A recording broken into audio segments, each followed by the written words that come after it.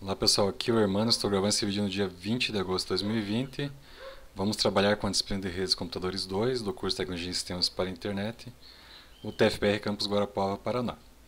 É, vamos continuar aqui com o protocolo HTTP, Hypertext Transfer Protocol. Aqui na, no, no, no, laboratório, no vídeo anterior aqui, esse vídeo é uma continuação, né? o vídeo anterior a gente estava trabalhando com capturas do protocolo HTTP. Nós temos o servidor web 1 fornecendo uma página internet e aqui o notebook faz acesso a essa página internet que seria uma, um site de exemplo aqui, guarapava.pr.gov.br. A gente montou um site qualquer aqui para testar. O que nós vamos fazer é o seguinte, nós vamos precisar configurar o servidor web 2 com vários domínios. Né? Então o servidor web 2 aqui, a gente vai colocar vários domínios aqui, que a gente vai colocar ali um domínio para Entre Rios, um site para cada colônia, né? então a gente vai configurar esse servidor web 2. Mas antes disso, vamos verificar aqui a versão do HTTP que a gente está trabalhando. Vocês viram que a gente já capturou aqui o HTTP, estamos usando a versão 1.1 do HTTP. Só por, por efeito de curiosidade, HTTP, o HTTP 0.9 aí foi o primeiro a, a circular aí com o Tim Berners-Lee padronizando, né? Foi, ó, foram os primórdios aí da, da World Wide Web. A IETF, vendo que o HTTP estava se popularizando, padronizou, né? veio a versão 1.0. Aqui, se eu não me engano, foi. Não, me engano, não tá certo, 1991. O 1.0 ele já visava, a IETF padronizou, né, o primeiro da IETF aqui, visava padronizar esse protocolo. Então vamos pegar aqui o site da RFC, se foi se foi escrito um RFC, se tem um protocolo, tem uma RFC para ele. Então vamos lá, Hypertext Transfer Protocol. Então tá aqui, ó, primeira RFC que apareceu aqui de 96. Bem nessa época aí dá para existiu aí a guerra dos navegadores, que era o Netscape e o Internet Explorer. Netscape vinha do Mosaic, um, do, um dos primeiros navegadores web do, do, que surgiram na World Wide Web. Mas o que a gente usa até hoje é o HTTP 1.1, visando ali alguma, resolver algumas deficiências ali do HTTP 1.0. É, a gente usa hoje o HTTP 1.1, que é da RFC 206897. Essa aqui, na verdade, foi atualizada. Ó. Ela ficou obsoleta, 2616 é a mais atual. Então está aqui ela, essa é a RFC mais atual de junho de 99. Então a RFC 1616, 1999, que a gente utiliza até hoje. Na verdade, a RFC 2616 ela foi obsoleta também. Tem várias RFCs que descrevem melhor o protocolo HTTP, né, a 7230 até a 7235. A 7230, por exemplo, se você abrir ela aqui, ela tem em detalhes toda todo o funcionamento ali de, do protocolo HTTP, como funcionam as mensagens entre cliente e servidor, é, como funciona uma URL, como que deve ser configurada uma URL chamada de, de Uniform Resource Locator ou Uniform Resource Identifier. Aqui tem os detalhes necessários aí para compreender como funciona o protocolo HTTP. Tanto que aqui o nome dele é sintaxe da mensagem e roteamento. Roteamento é camada de aplicação, não da camada de rede. Né? Então aqui estão os detalhes. Muito bem. Não vou me estender aqui, vamos pegar só mais uma RFC aqui, RFC 231. Essa aqui é bem útil. Essa aqui fala, explica cada método do protocolo HTTP, tem todos os métodos, aqui é o GET, HEAD, POST. Aqui tem todos os, os códigos de resposta, alguns a gente conhece bem. 200 OK, que é um de, de resposta de sucesso. Outro que a gente conhece aqui é o 404 Not Found. Então aqui é o 200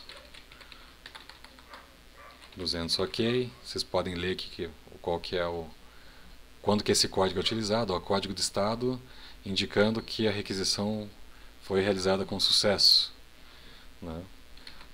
Um bem conhecido aqui é o 404 not found, é, código de estado indicando que o servidor de origem não encontrou a representação uma representação corrente ou o recurso alvo para o recurso-alvo ou essa informação que foi buscada não existe. Então tem vários várias, vários códigos aqui. Isso que é interessante para vocês que desenvolvem web virem buscar aqui na fonte né, o que, que significa cada código e depois tentar resolver cada situação. Hoje nós temos aqui o HTTP 2.0 na internet. É, o HTTP 2.0 visa atender um melhor desempenho. Nós não, não trabalharemos aqui com o HTTP 2.0. Deixa eu ver aqui, vai até 2002. Deixa eu pegar os mais os documentos RFCs mais recentes. HTTP 2.0. Está aqui ele, ó, RFC 7540. Bem recente mesmo, 2015. Tem também o HTTP 3.0, mas esse está em draft, ainda é rascunho. Visa melhorar ainda mais o desempenho do, do HTTP.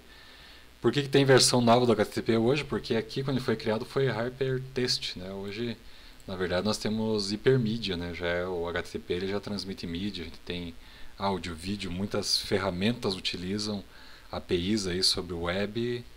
Então, o HTTP precisa evoluir também aí para atender essa demanda aí é, a demanda atual aí de, de alto desempenho e, e qualidade de serviço. Ok?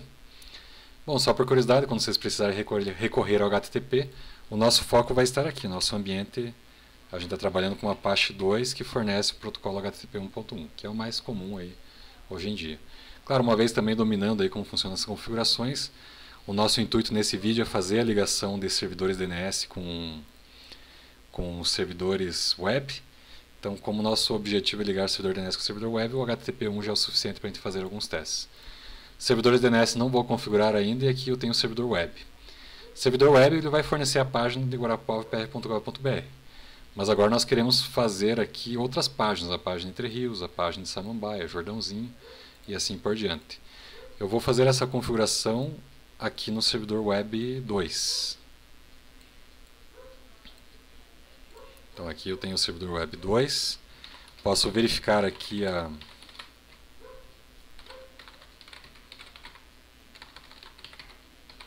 quais são as, as informações que eu tenho disponível para configurar.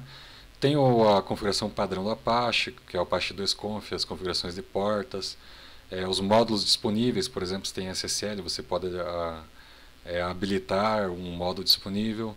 O que me importa aqui, eu vou dar uma verificação vou verificar aqui é os sites é, disponíveis, sites available e os sites habilitados, que são os sites enable.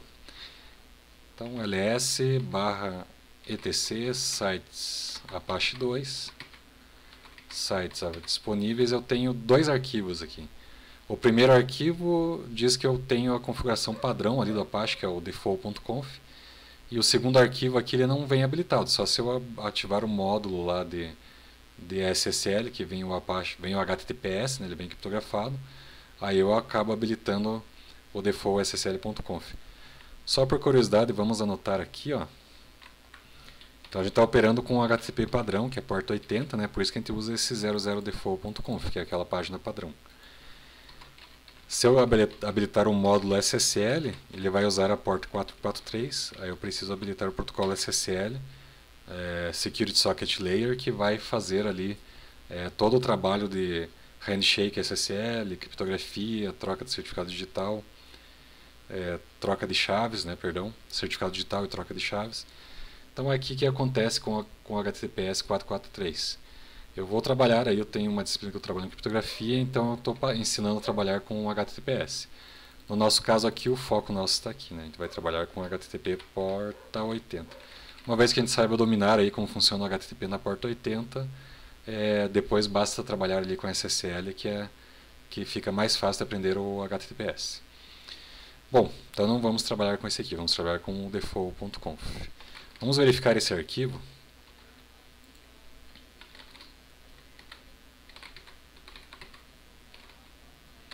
sites disponível. É, 000default.conf. Está aqui toda, todo o detalhe dele. Ele tem comentários no meio, por isso fica ruim de visualizar. Faço um egrep "-v aqui para remover os comentários. Aí eu tenho aqui, ele é mais sucinto para eu poder analisar. Então eu começo aqui com virtual host, né? começa aqui um com virtualhost e termino aqui com barra virtualhost. Então tem as, as entradas aqui, o server admin, document root, onde fica armazenada a página, o arquivo index.html barra var www, e algumas informações de, de erro e de log. Eu posso fazer o seguinte, eu posso remover esse arquivo que está lá, var www.html index.html, e posso fazer o seguinte,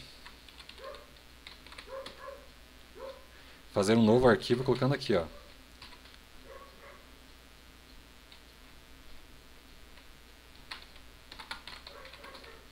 não há site aqui. Só um aviso aí para gente.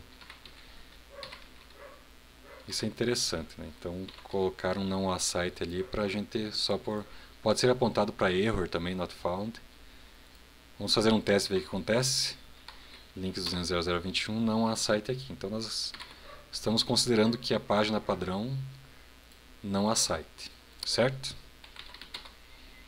Agora nós vamos para fazer o nosso primeiro site aqui, que é o site de Entre Rios, guarapuava.pr.gov.br. Então posso fazer o seguinte, posso criar uma pasta, barra var www, Entre Rios, né? e vou criar uma página lá, ó, nano, barra var, barra www, barra Entre Rios, barra index.html. Vou fazer um virtual host, uma entrada de virtual host aqui, vou colocar asterisco aqui, no lugar do asterisco eu posso colocar o endereço IP também. Esse endereço IP é, tem que ser o endereço IP da própria máquina, do próprio servidor, e é o endereço IP onde ele pode escutar é, por aquele IP, na porta 80. Então, por exemplo, quando que é útil isso aqui? O virtual host você pode apontar para o IP e dizer assim, ó, na intranet use esse virtual host na internet use outro virtual host. Então eu poderia, por exemplo, abrir uma página web somente numa intranet. Nós não queremos ali, por exemplo, uma página web fique exposta na internet, sendo que ela é de uso somente na intranet. Então eu posso modificar aqui na frente, ao invés do asterisco, colocar o endereço IP da interface de rede que está ligada na intranet. Então ativo o virtual host, coloco um, um barra virtual host aqui. E agora eu digo o seguinte.